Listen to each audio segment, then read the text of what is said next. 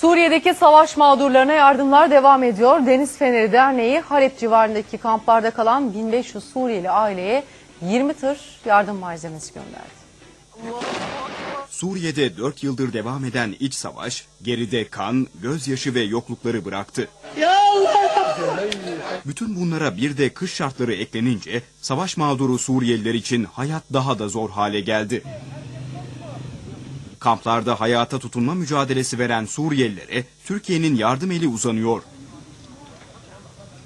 Son olarak Deniz Feneri Derneği, Suriye'deki kamplarda yaşayanlara ulaştırılmak üzere 20 tırdan oluşan yardım malzemesi hazırladı. Suriye'nin e, içlerinde 5 kampta dağıtılmak üzere e, 20 tırdan oluşan yardım konvoyunu e, inşallah bugün Öncü Pınar sınır kapısından içeri sokacağız. Bu yardım tırlarının 18 tır kömür, 2 tır da soba ve e, soba borularından e, 1500 adet olmak üzere inşallah 1500 aileye ulaştırılmak üzere sobalar gönderiyoruz. Bu göndermiş olduğumuz yardımla Suriyeli kardeşlerimiz üşümeyecek. Yardım malzemesi Kilis Öncü Pınar sınır kapısından yola çıktı.